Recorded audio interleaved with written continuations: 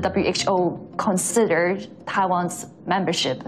I'm actually curious on talking about Taiwan as well, on Taiwan's case. 香港电台记者拿台湾防疫问题问的世卫助理秘书长艾沃德，狼狈装傻成为全球笑柄。节目三月二十八号播出，现在却遭到港府秋后算账。商務及經濟發展局發新聞稿，局長邱騰華認為呢一集節目當中嘅表達有违一個中國嘅原則，以及香港電台約章入面港台作為公共廣播機構所定明嘅目的同使命。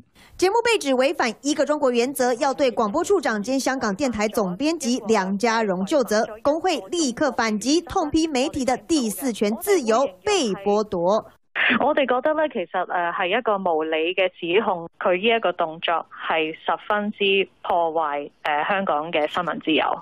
因疫情全球延燒，北京依舊不忘施壓，政治化人道醫療問題，卻怎麼也無法掩蓋台灣防疫成就在國際媒體發光發熱的事實。三立新聞陳思偉報道。